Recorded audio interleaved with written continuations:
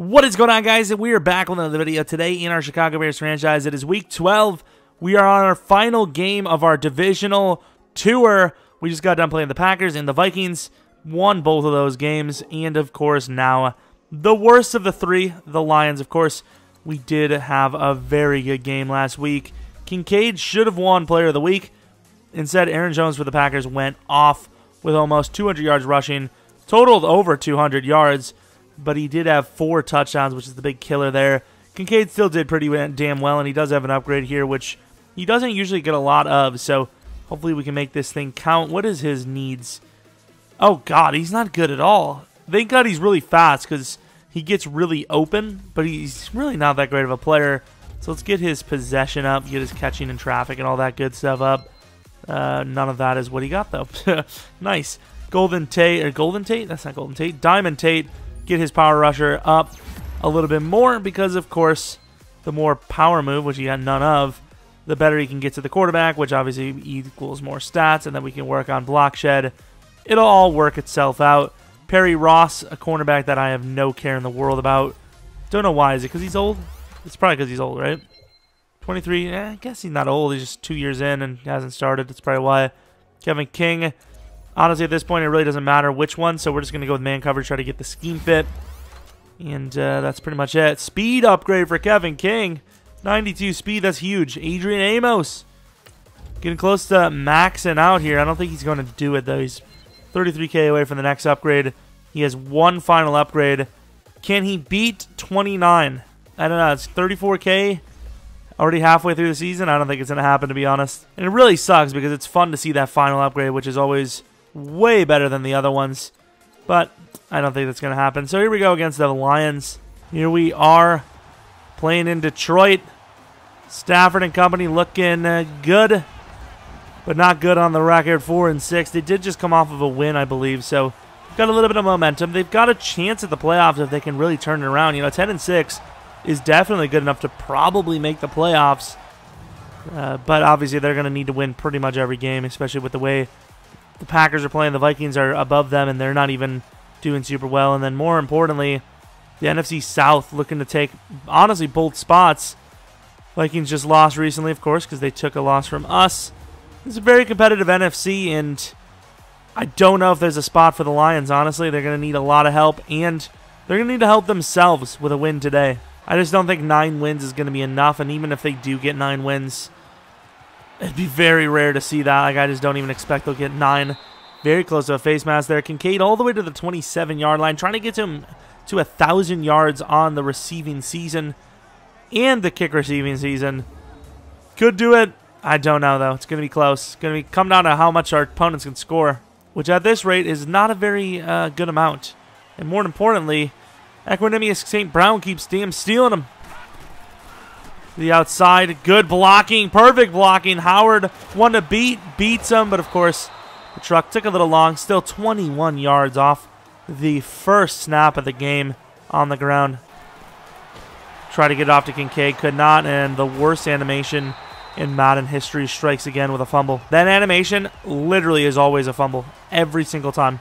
Don't know why it's in the game. It's so bad. And there goes Howard getting a lot of room again. Get about 15 yards there, almost 16. Almost gets the first. And Hughes, it's a great throw on the money, but it's a tough one for Hughes, especially with Slay on him, and he can't hold on. Gonna go back to the ground. Ooh, maybe not. We're gonna go with some slants. Mike Evans curl route. He loves to live that curl life.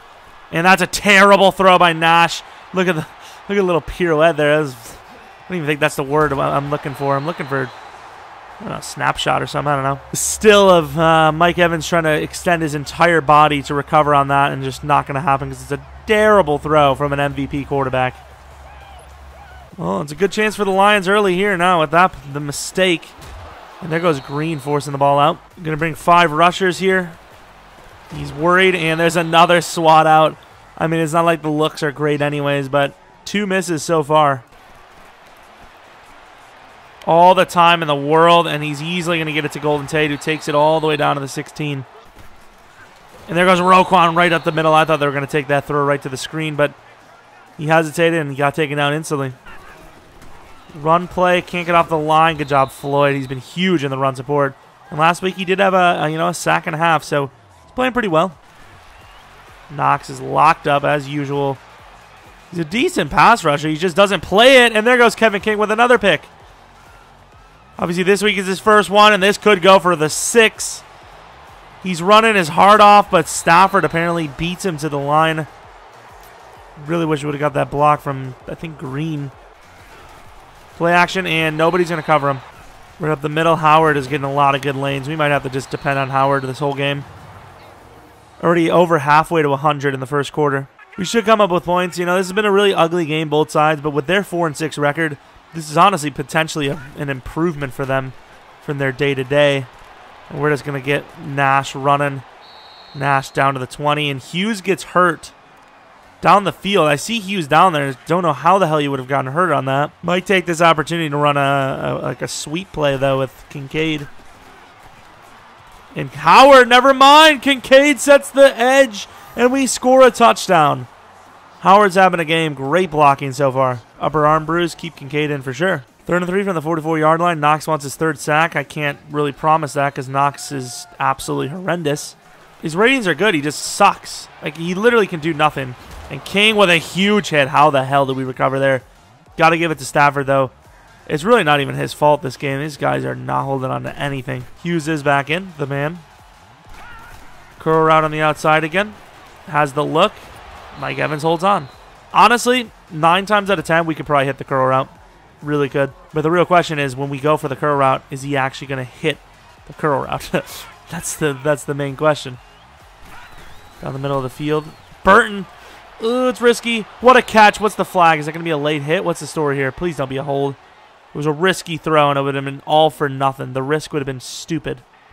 Come on. Cut back. Howard tries to run through him. Can't do it. When we're, you know, 20 yards away, they seem to give us some running lanes, and they kind of did the same there, you know. Second and 14. Up the middle looks have been pretty good for us. Damn, Kincaid is not going to burn. And that's a terrible throw by Nash. Jesus. A deep out. So uh, Hughes is obviously the main look, but if Kincaid burns over top, we're not uh, not worried about it. Ooh, Mike Evans. Mike Evans, perfect play. Mike with a one-handed catch. What a beast. Honestly, if it was someone else, maybe I'd be a little more excited, but Mike has just been so dependable. I, I almost expect it from him. Just going to have to take a shot while about to be hit. And Hughes, who's uh, definitely been slowing down quite a bit the last few weeks, gets hammered. I think it was an overthrow, though. I don't think it was us. Oh, is that Mike? Mike really not even open. Bad decision by us, but at least he gets a hand on it. Not really looking at the time here. And that's why you wait. I was going to run, but I didn't think I was going to get it. Cohen easily does and brings it 31 yards down the field to the 8-yard line. Last play of the first quarter. Lead block from Burton. Oh, look at the spin. Oh, look at Howard. Howard has earned everything of it today. He has done well. There we go. Everyone's taking a nap because it's a boring game. Lions have a chance to make it not a boring game with this uh, this drive, but third and eight, not an easy down to convert on, and that's a screen. And oh god, I didn't even see it. All right, Kerryon, Johnson, if you say so. If not, you spin me right round. Okay, that's enough. That's enough. That's it. You know, imagine that with that soundbite without the copyright. Try it again. This time he has a bit of a step. Honestly, the perfect throw. I mean, Alexander's all over him. And rolling. Barely get the throw off. Good job. Right, Cohen. Oh, look at the move! I am to have to lower the audio on that one because that was an amazing move by Nash. Weird audio from me. Let's just get on to the next play and forget it ever happened. Inside Burton. Trustworthy guy. Holds on to it. Kam Chancellor all over it. Good chance one of those teams isn't going to make the playoffs. So if the Vikings win, it's going to be an interesting one because they might both miss if the Vikings win. And Howard, one to beat, even though he doesn't beat him, gets over 100 yards, and it's only the second quarter. Even though Howard's had some nice tackle breaks and all that, I got to give it to this offensive line. And a big improvement when it comes to run blocking, but ironically now we shift from last week where we had great run blocking or great pass blocking, no run blocking, and now this week we have no freaking time to throw the ball. I mean, it's nice, but a little consistency, lads. Look at Howard lowering the shoulder. We're just gaining first down after first down. Why even put it in the air? They brought up the extra guy. Uh-oh. Uh-oh. Nash is going to walk into the end zone. A little boot tap. Nash Adcock for the touchdown rushing. Getting shutout 21 to 0. The shutout is likely to end on this drive unless we force a turnover. Lions driving down pretty nicely, can't lie. This is usually the time a team that's reeling can get some scores right before half. It's the worst timing to give up a score too, but that's usually when the team kind of gets like, hey, we're not going to let them get a sneaky one over top on us. Rather give them slow looks down the field than one deep look right over top on us because we're coming up. Oh, what a bat. That was almost picked. Honestly, if I was paying attention more, I would have probably picked that for a touchdown. I was really like, looking just to chase him down from behind because I didn't think we were going to get a hand on that. Pure making plays, he's done well. And there goes Manning making plays as well. This defense has been sneakily good this year in coverage. And it continues with, you know, fourth and 14 here. Kincaid with a good chance to return this. Gonna cut it back left, and there's that lane. Kincaid one to beat. Oh, he gets hammered. Please don't be hurt. Jesus, what a return, but holy crap, that was a huge hit. Perfect throw to Cohen. Right on time. Cohen's going to get hit down to the 29-yard line. Good weight, and Burton dives into the end zone for the touchdown. Just no chance in the world for them to stop us. Really, just none. And I sim one play, and they score a 75-yard passing touchdown. I will say it's going to make it more interesting. Well, that definitely uh, was a bit of a shocker. Didn't expect that. At least it's going to be more fun to play. I'm not going to lie. When we play our um, all-position and our Kyler Murray, I'm way more intrigued. And I, I lose track of time very easily. The game ends up becoming almost the fourth quarter. Right at the beginning, it almost feels but that's because the game is close and we're actually fighting. We're working back into the games. But with these, after the first quarter, the game's almost sealed. I've got them on pretty much max sliders. The best I can do next would be to just drop our sliders to zero and just play an offensive battle. I mean, hey, they've got the shot. They got that momentum play. If they would have just stopped us for a touchdown, know, they were stopped to a field goal and got that touchdown, it would have been a completely different game. What a throw. It's a huge hit by Eddie. And even though that guy's been getting hammered all afternoon, Hold on to that one. Oh, we had him with Roquan. We had so many guys to cover, though, and he got it off. Lucky to get that in there. On the slant, that's ironically Green's coverage, but he was playing a little off, and he got bumped into by King, I believe. Oh, no. Let him have it. No, that's really bad, man. Take a shot in the end zone and then go for it. And there's a shot anyways, and oh my god, Golladay just made Trevor Williams look like a child. They go for one. We only get to the 19. Don't know how it happened. I just simmed it, honestly. I just want to get back into the action. It's a little bit more fun now because there actually is... Oh, we should not have run that curl. That was a stupid curl route. Ah, crap. More interesting now because it's a little bit closer, 11 points. And uh, their defense has been okay. Kincaid. Oh, it's three freaking hits. And oh, I thought it was Kincaid and like we said last game, it's about around the time of the season where Howard gets hurt. So here it is. How many games are going to be this time? Cohen. Huge hit as well. Four yard gain only. Here's Cohen, uh, Howard's season. No. Quick throw to Kincaid on the drag, and he fumbles on another hit stick. I can't even blame him for fumbling. How many times he's been hit hard? Jesus. And where's Howard's injury? Achilles sprain, high re risk, so he's not coming back in until he's ready, which could be the entire game. Lines are right back in, and things are going bad. Fifth career sack. What the hell? Did Knox have a sack in sim? To the outside. Trevor all over it, but he still holds on for a three-yard gain. To the outside and wrapped up immediately by Amos. Actually loses two yards. To the outside, picked off by Trevor, who finally comes up with a play, makes up for the, the Kenny Golladay uh, touchdown. Obviously, that wasn't on Kenny, but either way. Across the field, Burton diving for it. Either way, even though he dove, he shouldn't even have gotten it. And right off the edge instantly for the sack. Jefferson, who's used to having about five sacks a game versus us, with his first. We're going to bring anyone on a blitz. It's going to be Mack. We brought the whole team in green, the youngster making another big play. I hope he doesn't get hurt. He's literally just the more the more polished defensive Kincaid. Inside. To the outside, that's kind of our fall King, though. Able to kind of scare him out of bounds. Kevin King on uh, Golladay is the perfect matchup. That's not a smooth route, and oh my lord. Lions are starting to shut us down a bit. Cohen does get the first down, though. This could be a really good play as long as we get a little bit of time to work with. I'm just going to have Shaheen as an all-time blocker here. He's got a bit of a step.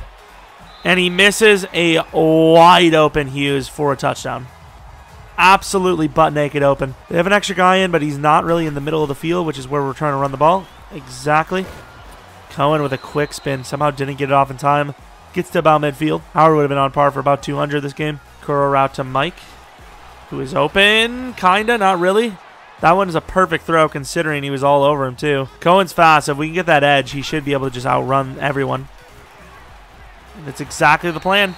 Just catch the edge, let someone from behind. It doesn't matter because he's going to catch the edge with the speed. Kincaid may score. Kincaid for the touchdown. He's too fast. He's too fast. Who was on him there? Was that? There's no way it was Kam. And either way, either of them should have been in man coverage versus Kincaid. But don't tell me it was Kam in cover. Really? If that doesn't tell you how how hard these sliders are, even though we dominate, I don't know what does.